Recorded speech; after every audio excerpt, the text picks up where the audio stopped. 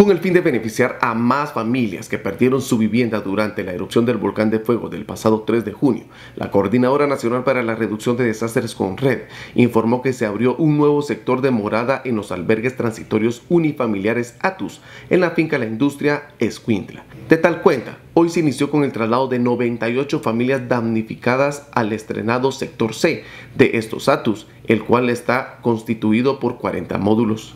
Según la Conred, la meta inicial fue construir 250 atos, de los cuales ahora faltan edificar 59, que constituyen los sectores E, F, G y H.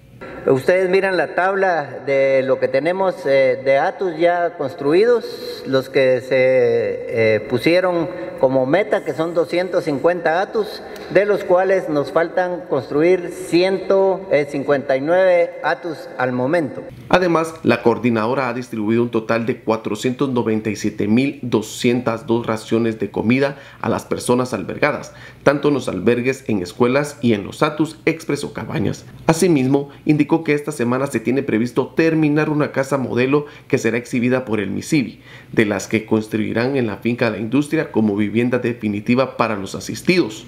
También tenemos que se han instalado en los ATUS, principalmente en el sector C, que va a ser eh, utilizado esta semana. Se han eh, instalado tanques de elevación, los cuales pues brindarán el agua potable a todas las eh, personas que van a habitar este sector.